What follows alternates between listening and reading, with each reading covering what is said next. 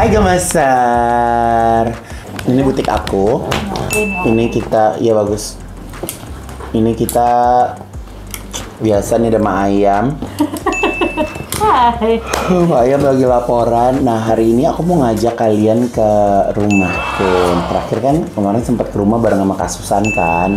Nah sekarang eh, aku mau kasih lihat kerjaan Kasusan tuh rapi banget, sumpah. Aku nggak endorse, alhamdulillah Kasusan juga aku bayar, tapi aku eh, di episode kali ini mau mengapresiasi kerjanya Kasusan rapi banget. Eh, kasur aku juga udah jadi. Hmm, kasur mehong yang jadi perbincangan. Menurut aku sih sebenarnya biasa aja gitu karena ya kalian tahu kan badan aku segede gini. Kalau aku beli kasur di pan ya kayaknya patah kali ya gitu. Aku mau ngajak kalian menuju Istana Mega Bintang.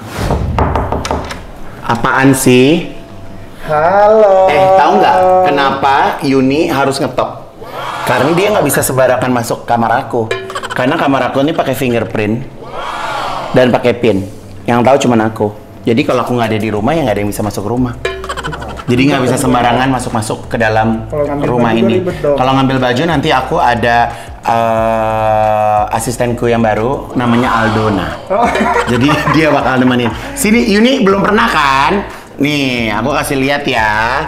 Nih, ini namanya Mbak Yuni. Mbak Yuni ini stylistku, wardrobeku, pokoknya eh, segala-gala rupa. Nah, ini namanya Isan, ya. Dada-dada. Nih, dia punya utang online. Gue ya Allah. Ada nggak? Nggak ada, ada. Nggak mau sampai lu megang pe- pe- pegang KTP lu ya. Terus kita satu butik di rongrong ya. Masuk lo. Iya kak, siap. Nah, jadi eh, sekarang ini ada di kamar aku. Aku mau kasih lihat sebenarnya buat Yuni juga sama buat kalian semua. Kalau waktu itu pernah ke kamar kan, tapi kan kondisi kamarnya belum jadi. Aku tuh nggak tahu kenapa ya, mungkin vlog ini aku mau tujukan kepada kasusan eh, Kang Mandor sama Rumah Sabin. Karena ini ruangan ini nih bener-bener kayak masterpiece-nya dari kasusan. Ini bayangin, ini meja kerja aku. Ini aku lihat proses buatnya. Jadi ini buatnya di rumah. Di sini Yuni. Jadi ini bener-bener Di rumah ini. Iya, jadi ini bener-bener handmade buat di sini. Dan kalau lo perhatiin, nggak kalah sama furniture beli. Iya gak? Nice. Gila gak? Ini kalau tadi lihat kayaknya kamar-kamar princess gitu. Kok princess king? Iya.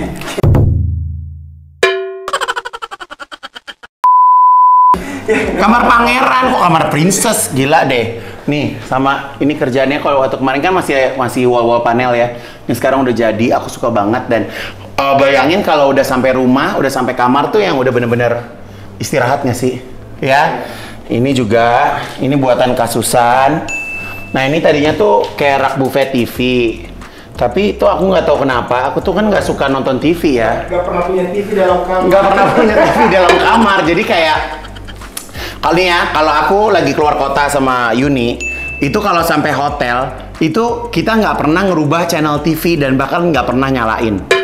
Gila gak gila gak saking nggak ngerti ya Yun kayak nggak pernah nonton TV di nggak suka nonton TV gitu. Nah aku juga mau kasih lihat ini juga sofa buatan kasusan Oh, ini custom. ini custom Rumah Sabil. rumah Sabi lucu banget kan warnanya kan karpetnya juga oh my god Isan jadi injek Allahu Akbar Isan Gila, gila. ih gua aja belum naik ke situ San apaan sih ih ini karpet juga dari kasusan. Warnanya matching gitu. Warnanya matching, iya. Ih keren banget deh. Nah ini wallpapernya ini udah dipasang. Ini wallpapernya aku juga kayak bikin khusus gitu, minta khusus gitu. Eh, ada namanya Mas Budi Wallpaper. Lucu ya? Bagus. Aku tapi paling penasaran aku penasaran sama katanya ada kasur 170 juta. Apaan sih Yun ngebahas-bahas begitu ada gilanya deh. Ih, Ini ya? Iya ini. Baru sampai nih tadi nih kayaknya nih. Iya, ini. Tuh. Tadi tau gak sih, pas anak-anak rumah kan videoin, Mas keempat tidurnya udah jadi, udah datang. Terus gue yang gini, Kok warnanya hitam sih? Gue lagi gitu. Kok warnanya hitam sih kan warna coklat? Kata gue gitu. Oh ternyata dibungkus nih guys. Nih. Kalau kalian penasaran, tuh.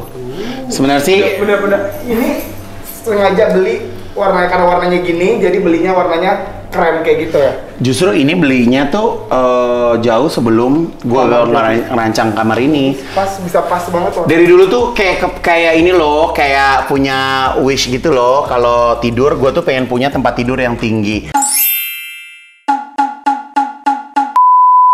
Lo coba naik deh. ini benar-benar tinggi tadi gue Lo coba naik. udah Lo coba, lo coba lihat naik ke atas. ini udah setengah setengah badan Iya, iya.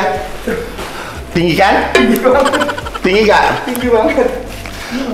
Makanya kalau lagi main di tempat tidur ntar bye-bye jatuh nih. Makanya jangan bercanda dah kalau di tempat tidur ya. Gitu. Nah kemarin pas ini beli ini dapat ini juga cakep ya tuh satu set ini masih dibungkus karena kan di luarnya masih berantakan tapi cuman kamar ini yang udah bagus nah ini juga lucu nih gentong ini tuh ini aku beli di Lebak Bulus best gak? Hmm. juga AC-nya dingin banget tadi apa? AC-nya dingin banget Nih, aku mau cerita lagi nih. Iya, aku tuh nggak kepengen di kamarku AC-nya tuh kayak kepajang-kepajang gitu loh, ya kan? Dan AC aku ini adalah the one and only dari Panasonic. Ini kehebatannya adalah, tahu nggak? AC ini nih dia ada uh, teknologi namanya Nano X ya guys. Nah ini bisa membunuh virus 99,99%. Jadi kita yang ada di rumah itu pastinya ngerasa aman banget dan nyaman banget. Bayangin uh, ruangan kita tuh terlindungi dari virus corona. Gokil gak? Ya kan terlindungi dari virus corona dan aku taruhnya di sini kenapa? Supaya nggak langsung kena kepala. Iya kan kalau lagi tidur kena kepala kan pusing kan Yun? Alemong pusing. Alemong pusing. Nah ini karena AC-nya ini dingin banget. Ini 2 PK Jack. kamar Iya, ini 2 PK. Dan kalian harus tahu kehebatan dari AC uh, Panasonic ini juga. Kalau aku mat matiin AC-nya, Nano X-nya tetap jalan. Jadi, jadi sirkulasi ada yang jatuh ya? Ada sirkulasi dari udaranya tuh tetap Ya Allah Yuni, masa kancing gue copot sih Yun? Ya Allah Yun, gimana sih ngejahit baju? Ada gilanya deh.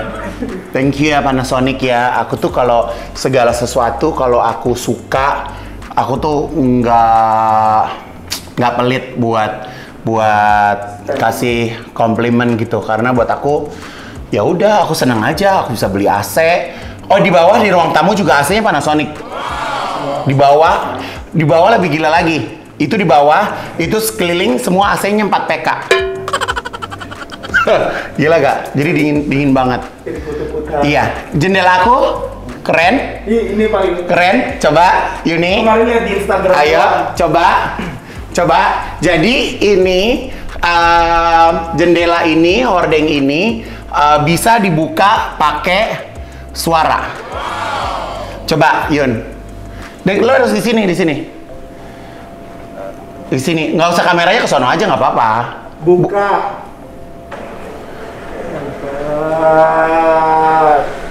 Keren nggak? Keren nggak? Hah? Nora lo, sadar keren nggak? kayak di hotel kita nggak usah ngirim-ngirim hotel lagi Ya udah nggak usah ngirim hotel lagi. Keren. Keren nggak? Terus gue juga suka ada bentuk ininya loh. ada ininya ya Ada siku-sikunya.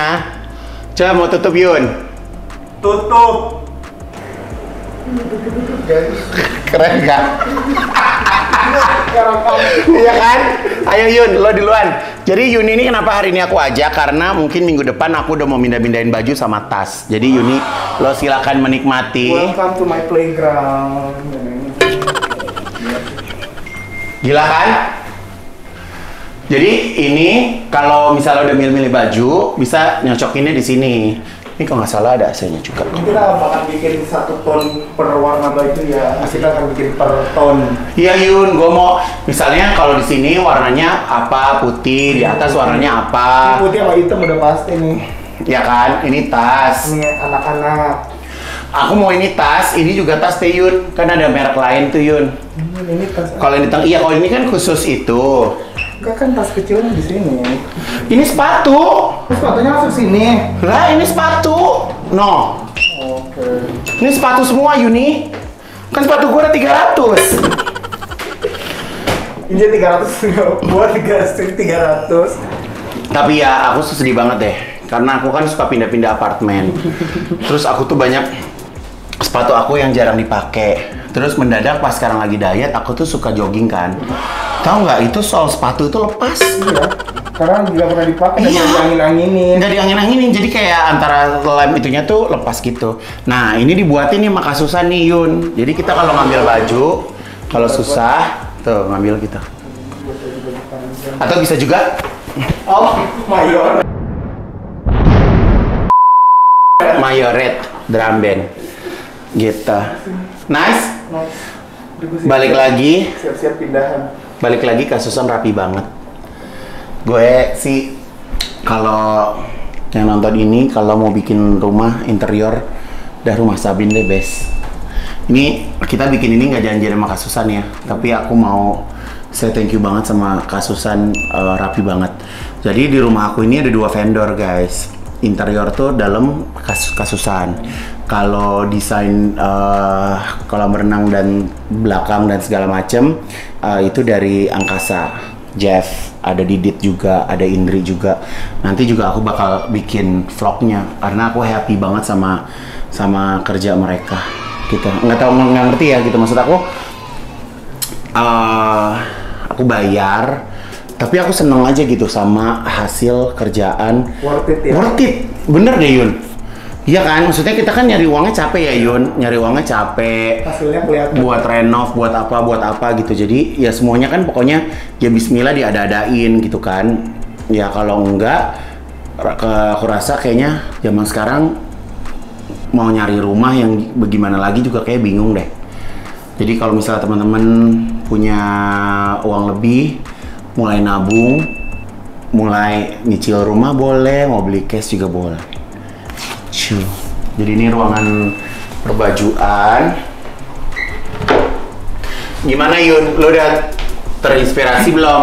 Udah putih, putih, putih, putih, hitam. Kalau ada abu malah abu di tengah baru hitam gitu, jadi gradasi. Pokoknya gue kayak pengen kayak di kamar gantinya Kardashian Iya. gitu atau apa gitu. Sini pasta. Jaket, jaket, jaket, jaket, jaket. Celana, Kan gue punya jaket-jaket. Balenciaga, Apose, Apose, kan lalalala. Belanjanya udah nggak di sini ya. Iya, belanjanya dari Amerika, dari Hello and Buy, dan ya dua minggu nyampe, gitu. Kurus sedikit lagi udah bisa belanja di sini. Iya, benar. Gitu guys. Jadi tuh lihat pengerjaan-pengerjaannya juga detail banget. Terus Kak Susan tuh barusan bikin aku spray juga. Gila deh. Tuh. Gitu, apalagi yang kalian mau lihat. Oh, Kak Susan juga ngerjain ini nih. Dia bikin keset, Yun. Udah lihat belum nih? Yang di dalam Iya, tuh. Gemes ya? Tuh kesetnya lihat. Kesetnya, itunya. Kemarin kan pengen ada efek-efek air mancur, tapi kayaknya harus jebol-jebol lagi. Kayaknya gue mengurungkan niat lah ya. Aku nggak mau nggak mau kamar mandi aku kotor lagi. Ini kemarin aku lihat di online juga lucu. Itu guys. Ya, nah, aku mau ngasih lihat juga eh, kolam berenang dalam proses pengerjaan. Ya ikutin aku. Nah, bikin kolam berenang tuh nggak semudah yang gue pikirin. Yang gue pikir tuh ya, bikin kolam berenang tuh nggak gimana? uruk, habis uruk, terus disemen, terus ditegelin. Ternyata ribetnya setengah setengah umat tuh. Pakai fondasi-fondasi, pakai besi-besi dan segala macam. Tapi ini prosesnya udah kayak ya 60% kali ya. Tapi ini hitam banget sih. Aku yakin ini dalam banget pasti. Itu dalam Yun 175 apa 180 dalamnya. Di atas keterangan. Coba Pak Mandor masuk ke dalam kolam coba. Yang situ. Dalamnya berapa? Itu nanti dalamnya diisi lagi apa enggak sih? Hah? 170 Ya, tujuh puluh segini. Kalau sekarang berapa? 175 Oh iya ada buat tegel. soran 5 cm Buat apa? soran Solan tuh apaan? soran atas Pocor. ya jadi kan dari gambarnya 17 bersih nanti ngikutin gambar 17 Ini kalau begini nanti air mancurnya posisinya di mana? nah setengah ini pak naik ke atas 120 kalau dari gambar Ntar ada air mancurnya, jadi kayak bangun tidur apa gitu tuh ada kerujuk kerujuk kerujuk kerujuk gitu. Ini sekarang ngerjainnya lagi apa lagi habis ini? tinggal begitu semuanya udah beres begitu baru pengecoran dingin semua Minggu depan pengecoran lah ya. hari Senin pak Senin. Habis ngecor apa lagi? bongkar semuanya Heeh. area bilas Heeh. Itu belum dijebol no. ya Ma- Masih dipakai mandi kali ya sama anak-anak ya.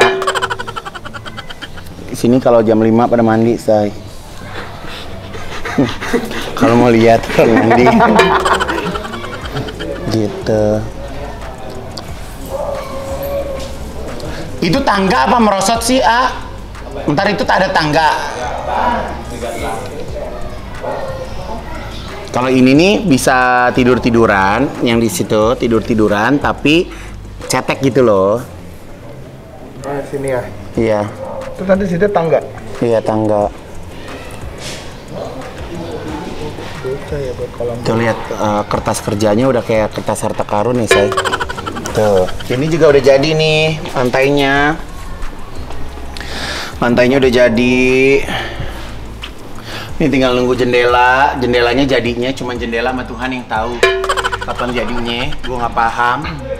Nah, jadi furniture furniturenya udah ada yang datang sebagian karena udah tinggal masang jendela doang. Gitu. Ini meja makan. Meja makannya di bawah. Ya ini lukisan juga lucu ya. Ini lukisan lucu.